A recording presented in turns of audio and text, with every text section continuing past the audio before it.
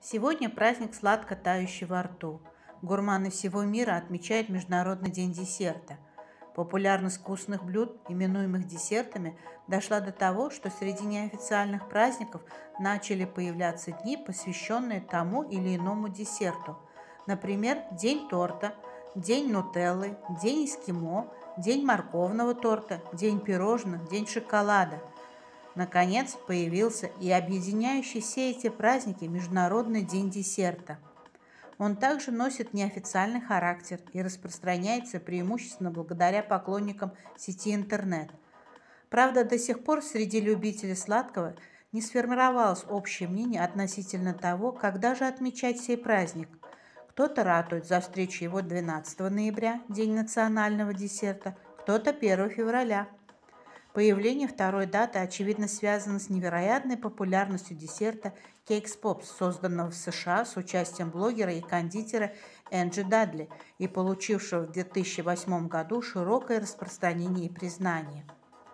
Празднование Дня десерта началось с появления нового лакомства – кейк-попса. Со временем символом этого дня стали и другие пирожные.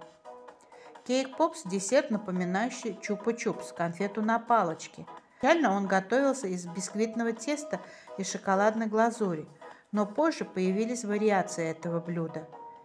Идея миниатюрного пирожного в виде шарика понравилась не всем, но сама Дадли в нее поверила и стала выпекать многочисленные вариации кейк-попов. Она стала придавать им разную форму и выпекать пирожные к праздникам, к Рождеству, Хэллоуину, Дню Благодарения.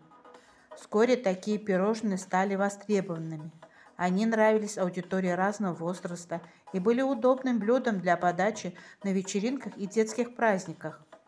Стоит отметить, что десерт не всегда является сладким блюдом. В этом качестве иногда выступает сыр или икра. Так что нельзя сказать однозначно, что десерт – это удел исключительно сладкоежек.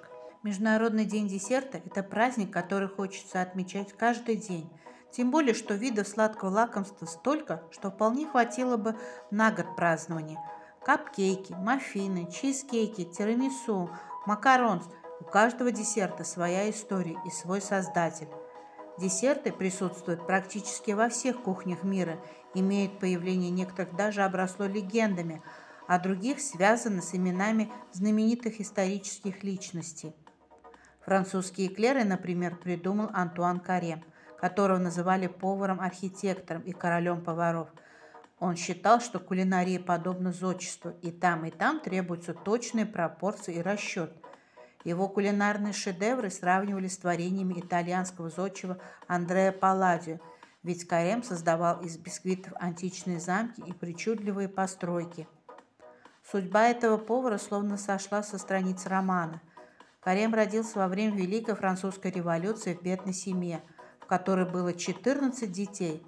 Отец оставил его у парижских ворот с узелком и несколькими монетами и велел устраиваться в жизни самому. Одиннадцатилетний Антуан стал работать в трактире за еду и ночлег. Мальчик был сообразителен и расторопен, и вскоре попал в ученики к прославленному кондитеру. Антуан не только запоминал, но и записывал ночами все хитрости кулинарного ремесла – Карем добился больших успехов в готовке и стал одним из основателей новой кулинарии. Став знаменитым, он служил при дворе королей и знатных вельмож.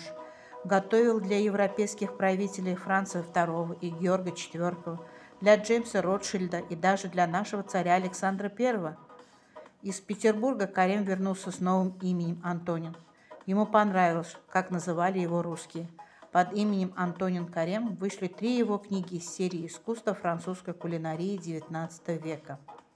Он планировал написать еще две, но не успел. Антонин Карим умер в 48 лет от легочной болезни, вызванной угарным газом печи, возле которой повар королей провел всю свою жизнь. Международный день десерта стал обобщенным праздником всем сладостям, 1 февраля кондитерские разных стран представляют новинки меню, проводят мастер-классы по приготовлению и оформлению десертов, устраивают конкурсы поваров, где участники представляют на суд гостей свой собственный десерт и пробуют десертные творения других участников. А какой десерт у вас будет сегодня на столе?